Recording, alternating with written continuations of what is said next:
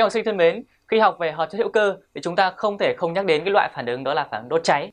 Bởi vì tất cả các hợp chất hữu cơ chúng ta là chúng dễ bị oxy hóa bởi oxy, đúng không nào? Và bây giờ, tiếp theo đây trong cái nội dung về tính chất hóa học của este, mời các em cùng với thầy và tôi là vn chúng ta đến với nội dung phần thứ tư, đó là phản đốt cháy este các em nhé. Thì khi làm bài tập về phản đốt cháy đối với loại hợp chất hữu cơ nào có nhóm chức thì cái điều đầu tiên các em nên tránh đó là chúng ta không nên đặt cái kiểu công thức đó là chúng ta đặt công thức là gốc chung chung. Ví dụ như thế này. Ví dụ các em không nên đặt công thức kiểu este có dạng là r cor phải. Đấy khi mà r và r phải của em là chưa biết. Đấy, nếu các em đặt công thức kiểu như thế này ấy, tác dụng với oxy thì tất nhiên rồi sản phẩm sinh ra là CO2 và nước. Thế nhưng khi em biết CO2 và nước thì em cũng không thể đánh giá được cái mối quan hệ số mol CO2 và nước đâu. Bởi vì ở đây R, R phải chưa biết, chúng ta làm sao mà cân bằng được, đúng không ạ? Vậy thì chúng ta nên bỏ theo cái định hướng như thế này đi nhá. Cái kiểu định hướng R, COR phải này thì chúng ta thường làm với những cái bài tập thủy phân. Bởi vì khi thủy phân thì chúng chỉ liên quan đến cái nhóm chức CO mà thôi. Kèm nhá. Thế vậy thì thay vì chúng ta đặt là công thức gốc trước như thế này, chúng ta hãy đặt công thức phân tử đi. Công thức phân tử thì các bạn có thể đặt theo kiểu là gì? có thể đặt theo kiểu đó là CX HI OZ đúng không ạ? Cộng với oxy. Thì khi ấy tác dụng oxy thì chúng ta thu được sản phẩm là CO2 và nước đúng không ạ? CO2 và nước.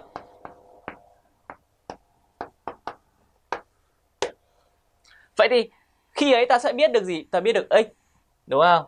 Hệ số anh CO2, hệ số của nước là y trên 2 và hệ số của oxy thì đơn giản thôi đúng không bên phải chúng ta là 3 là 2x này, cộng y trên 2 thì ta sẽ là 2x cộng y trên 2 trừ đi z, tất cả trên 2 oxy. Thế là xong. Đúng không? Đấy, các em nên. Chúng ta nên sao? Là nên nên biết nhận xét là gì? Cái cách này, làm sao? Không nên làm, đúng không em? Không nên làm. Và ta nên làm theo cách như thế này. Thế tuy nhiên, cách như thế này thì nó cũng chưa phải là triệt để. Khi làm bài tập, khi đốt cháy axit kém biết rồi, chúng ta có thể đặt công thức tổng quát của nó, đúng không ạ? Theo, đó là mối liên hệ giữa số C và số H. Đối với este cũng vậy. Este các em có thể làm công thức kiểu thế này. Là một công thức tổng quát của este bất kỳ, hoặc thậm chí là một axit bất kỳ. Nó cũng là như thế này. Bởi vì hai anh, axit và este chúng là đồng phân của nhau mà, đúng không ạ? Công thức là CN2N cộng 2 trừ 2K trừ 2X O2X thì khi tác dụng với oxy, chúng ta được là CO2 được nước và các em sẽ cân bằng đây là những cái hệ số cân bằng tương ứng. Các em có thể kiểm chứng nhé ở đây lưu ý cho thầy K là gì? K là số liên kết pi và vòng ở gốc. X là gì? Nó là số nhóm chức. Được chưa? Thế và từ đây khi mà các em biết dãy đồng đẳng của nó các em lắp K lắp X vào thì em sẽ viết được phương trình. Và khi ấy các em sẽ tìm được mối liên hệ số mol của CO2 và nước. Đấy, qua đó để rút ngắn các thao tác làm toán đi. Được chưa? Bây giờ thầy sẽ hướng dẫn các em viết phương trình cháy. Đối với lại gì? ST no đơn hở nha. ST no đơn hở. Tức là nói ờ, đầy đủ là ST no đơn chức mạch hở đấy. Được chưa? Thì khi ấy, lưu ý cho thầy là K của gốc nó sẽ bằng 0 được chưa? Và nó là đơn chức thì k của chức nó sẽ bằng 1. K của chức nó sẽ bằng 1. Và khi ấy k phân tử sẽ bằng k gốc cộng k chức. Nó sẽ bằng 1, đúng không? K phân tử sẽ bằng 1. K phân tử bằng 1 thì các em có thể đặt công thức của nó có dạng là gì? CnH2nO2. Được chưa? CN2NO2 Đấy các em lắp vào thôi Lắp K lắp X vào thôi Đây Đây chính là K này và đây chính là X này Trong cái công thức trên. Và khi đốt cháy CN H2NO2 Nào các em sẽ nhìn thấy điều gì đây? Chúng ta thu được sản phẩm cháy là CO2 Thu được sản phẩm cháy là H2O Hệ số cân bằng nào? Hệ số cân bằng của anh CO2 là N Của anh nước cũng là N. Và của anh oxy sẽ là bao nhiêu? Sẽ là 2n này với 1n là 3n, 3n trừ 2 trên 2. Đến đây các em có thể suy ra được cái nhận xét rất là quan trọng đó là khi đốt cháy este no đơn hở thì ta thu được là số mol của CO2 bằng số mol của nước các nhá. Đấy, từ đây suy ra N của CO2 bằng N của H2O. Đối với este no đơn hở là như thế. Và cũng tương tự với những dãy đồng đẳng khác, người ta có thể cho em thông tin về dãy đảng. Ví dụ là ST đa chức, đúng không? ST hai chức đi. ST no hai chức mạch hở. Thì khi ấy chúng ta cũng xác định là gì? K bằng bao nhiêu? X bằng bao nhiêu? Để tìm được mối hệ số mol CO2 và nước. Cảm nhá.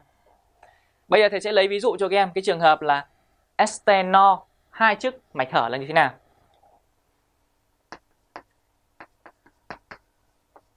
Estenol hai chiếc mạch hở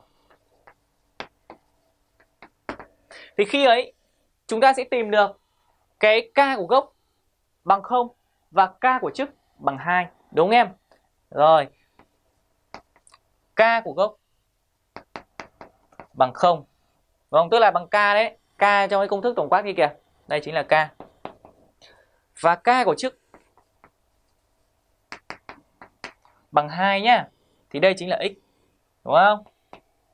Và khi ấy các em sẽ thành lập được cái cái công thức tổng quát của cái dãy đồng đẳng axit này. Thì suy ra nó sẽ có dạng là gì ạ?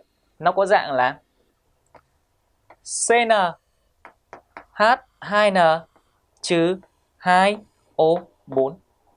Đúng không em? Và các em lại từ cái công thức này các em sẽ viết phương trình bằng cháy, các em cân bằng, các em sẽ tìm được mối hệ số mol của CO2 và nước. Được chưa? Các em hãy cùng tự viết nhé, sau đó hãy đối chiếu kết quả với thầy. Sau đây mời các em cùng với thầy, chúng ta hãy cùng kiểm chứng lại với lại cái số mol CO2 và nước khi đốt cháy cái anh este no hai chiếc mạch hở là như thế nào nhá. Thầy đã tóm tắt ở đây rồi. Thì phương trình phản ứng cháy của chúng ta đó là CN H2N trừ 2 O4 cộng với oxy. Nhiệt độ lên. Chúng ta thu được là CO2 được nước. Nào, hệ số cân bằng này CO2 là N. Nước là gì? 2n-2 chia 2 tức là n-1 ở đây. Chúng ta đếm oxy thôi, đúng không ạ? Oxy bên vế phải là bao nhiêu? 2N với 1N là 3N, 3n-1. Bên vế phải là 3n-1. Thì ở đây thôi, nó sẽ là 3N trừ trừ 5, đúng không? 3N trừ 5. Bởi vì nó trừ ở 4 tiếp đây này. 3N trừ 5 trên cho 2 thì nó sẽ ra 3n trừ 1 bằng bên này. Đây, 3n 5 trên 2 nhân 2 tức là 3n 5. 3n 5 cộng với 4 thì tức là 3n 1 thì nó bằng với oxy bên này. Các em hiểu chưa? Ok nhá. Rồi, và khi ấy các em sẽ tìm được mối hệ số mol CO2 nước như thế nào này. Bây giờ thầy sẽ à, điền số mol cho các em cho dễ hình dung. Số mol. Thầy đặt số mol anh này là A. Thì khi ấy số mol của anh à, CO2 nó sẽ là Na. Số mol của anh nước nó sẽ là N-1 nhân A. Thì hiển nhiên các em sẽ nhìn thấy là gì? Chúng ta sẽ thấy được ngay là N của CO2 nó lớn hơn N nước. Đúng không? NCO2 lớn n nước. Và gì nữa? Và em lấy hiệu NCO2 trừ N nước, chúng ta sẽ ra ngay. Nào, sẽ ra điều gì ạ? NCO2 là Na trừ N nước là N trừ 1 nhân A thì có phải là bằng A không ạ? Đúng không em? Và A này chính là số mol của cái anh este ban đầu. Và chúng ta sẽ có một cái kết quả ở đây. Suy ra. Đó là gì? Suy ra N của anh st này, đúng không? N của anh ờ, cn CnH2n trừ trừ 2O4 thì sẽ bằng là N của CO2 trừ đi N nước. Đây là một cái kết luận các em cần lưu ý thôi. Giai đoạn thứ nhất dãy đoạn thứ hai và tiếp theo là dãy đoạn thứ ba chúng ta cũng thường hay gặp trong các đề thi. Đó là thầy sẽ giới thiệu các em là dãy đồng đẳng của ST không no. Không no nó có một nối đôi CC trong phân tử, có một CC. Và đơn chức mạch hở. Khi ấy thì các em ờ, lắp K và lắp X vào thì em sẽ thấy được ngay thôi. Nó có một liên kết pi ở gốc Liên pi ở gốc nó có thể là liên pi ở đầu axit hoặc là đầu ancol. Không không ảnh hưởng gì cả, đúng không ạ? Khi ấy k bằng 1 và x cũng bằng 1, em lắp vào em sẽ được thôi. Được chưa? Lắp vào ta sẽ được cái công thức của nó vẫn là gì? Nó vẫn là CN H2N trừ 2 nhưng lúc này là O2 chứ không phải là O4 nữa. Được chưa? Rồi. Thế thì bây giờ các em lại viết phương trình cháy thôi. Phương trình cháy là CN H2N trừ 2 O2 cộng với oxy. T độ đây. Sản phẩm chúng ta thu được là CO2, thu được là H2O. Đúng nào? Cân bằng nhé. NCO2. N trừ một nước. Oxy nào. Oxy bên ờ, vế phải chúng ta làm 3N trừ 1. Đúng không ạ? 3N trừ 1. Thế còn bên vế trái là thế nào để ra cân bằng bên kia thì ta sẽ là 3N trừ 1 trừ tiếp 2 tức là 3N trừ 3 trên 2. Nào, kiểm tra lại nhá. Bên này là 3n-1. Thế còn đây, 3n-3 trên 2 nhân 2 tức là 3n-3. 3n-3 cộng với 2 ở đây tức là 3n-1, cân bằng oxy rồi nhá. Và khi ấy, thầy cũng giả sử số mol đi. Giả sử số mol cho em dễ hình dung.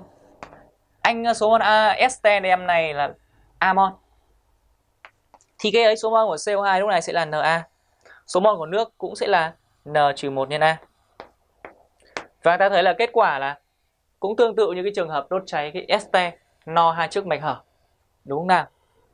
Thì chúng ta cũng luôn thấy là số mol của CO2 lớn nước và cái hiệu số của CO2 trừ nước thì sẽ bằng số mol của anh este. Được chưa? Và khi ấy chúng ta sẽ có kết quả đây. Số mol của CnH2n trừ 2O2 thì sẽ bằng N của CO2 trừ N của H2O. Đấy, ba cái kết luận một kèm cần lưu ý. Đấy, tương tự với những dãy đau đẳng khác khi các em ờ, có cái công thức tổng quát thế này có k có x vào thì các em cứ viết phương trình thôi. Các em sẽ tìm được những cái mối hệ số mol đúng không? Đốt cháy ethanol đơn hở thì được số mol CO2 bằng nước. Đốt cháy ethanol hai chiếc hở hoặc este không no một nối đôi đơn hở thì các em cũng được là mối hệ số mol CO2 nước như thế này. Vậy trường hợp tổng quát nhất sẽ là như thế nào? Đây trường hợp tổng quát nhất thì em sẽ làm cho thầy như thế này. Các em đặt số mol anh này là A được chưa? Đặt số mol của anh ST đem phản ứng là A. Tương ứng số mol của CO2 thu được sẽ là gì? Sẽ là Na. Số mol của nước thu được sẽ là gì? Sẽ là cả cái trong ngoặc này, N cộng 1 trừ K trừ X, tất cả nhân A. Đúng không? Các em cũng làm cái động tác là lấy hiệu số mol của CO2 trừ số mol của nước. Thì khi ấy, các em sẽ tìm được mối liên hệ rất thú vị. Một cái chú ý mà khi các em đốt cháy tất cả những hợp chất hữu cơ chứa nguyên tố C và H hoặc là chứa nguyên tố CHO mà ở những cái nội dung trước, ở những cái hợp chất hữu cơ trước thì thầy giáo cũng đã đề cập rồi. Bây giờ thầy sẽ nhắc lại cho các em. Đó là chúng ta sẽ luôn có được cái hiệu số n của CO2 trừ đi n của nước. Nếu với một chất thì là NCO2 trừ N nước. Thế còn nếu với hỗn hợp chất thì các em ghi là tổng NCO2 trừ tổng N nước. Được chưa ạ? Ok. Nó sẽ bằng gì? Nó sẽ bằng là k cái phân tử của hợp chất đó trừ đi một nhân với n phân tử n phân tử. Đó, n phân tử đây là nó sẽ chứa nguyên tố CH hoặc là chứa CHO nhé các em. Được chưa? Chứa CHO rồi, đây chính là công thức mà các em cần phải nắm chúng ta khi chúng ta làm bài tập đốt cháy. Có thể đốt cháy hydrocarbon, đốt cháy ancol aldehyde được chưa? Axit hay là đây là este chúng ta đều có mối hệ như thế này. Được chưa?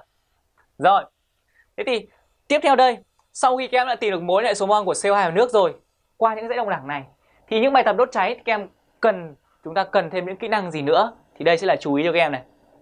Khi là các bài toán đốt cháy este cũng như các hợp chất hữu cơ khác thì các em phải tận dụng triệt đề. Đó là gì ạ?